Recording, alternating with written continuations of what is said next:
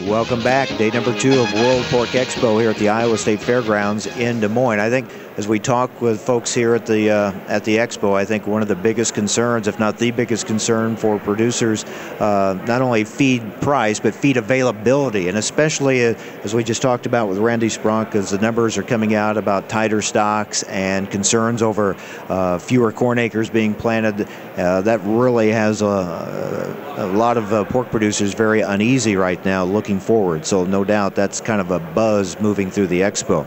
All right, we're going to be talking with Iowa Congressman Tom Latham in just a moment, but joining us now is Larry Liepold, uh, producer and board member for NPPC from Minnesota. I want to talk about a couple of programs, SIP, SIP, Strategic Investment Program, and leader of the Legislative Education Action Development Resource. Larry, thanks for joining us. Let's start first with SIP. Uh, this is basically a voluntary checkoff program, isn't it? It is. It, it's the vehicle of membership into the NPPC to a producer, a producing company. It, and how does it work? It, uh, as an individual or a company signs up, there's a couple of methods. When they can either directly remit um, the contribution, 10 cents per $100 of value, to the NPPC or to the state, and it gets divided up one way or the other.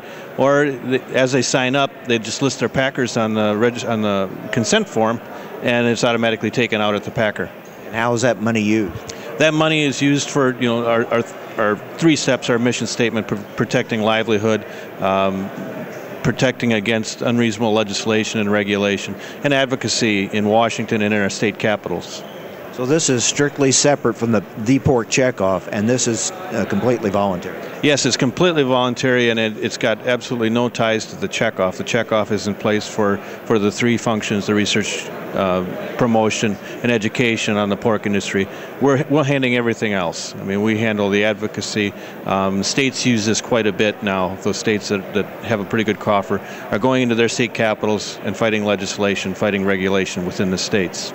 So those voluntary dollars then can be used for uh, those types of activities, activities that maybe the the pork checkoff, the uh, established pork checkoff, uh, cannot. Those funds can't be used for lobbying efforts. That's correct. Uh, by law, they cannot be used.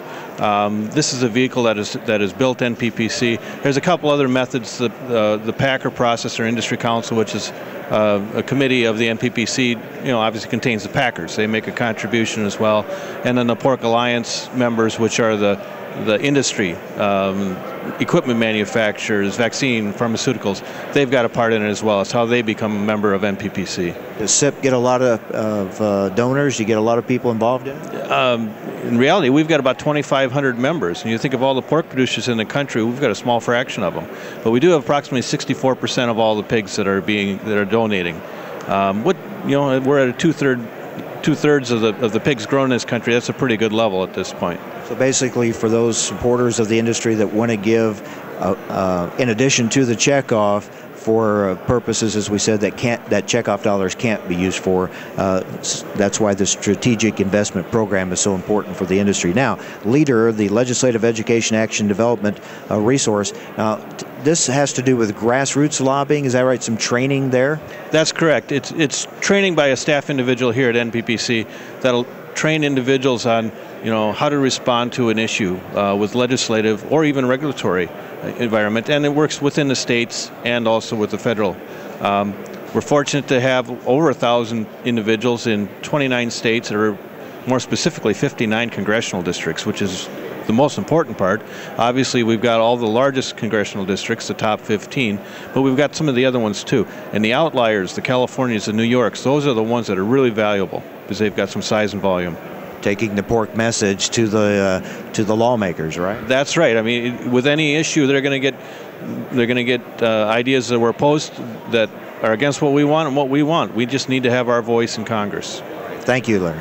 Very good. Thank you. Larry Liepold is telling us about the uh, strategic investment program, a voluntary checkoff, in addition to the regular checkoff. Uh, again, uh, those monies can be used for lobbying efforts and things like that. And then the leader of the Legislative Education Action Development Resource uh, Program, training of folks to go out and do some grassroots lobbying. Well,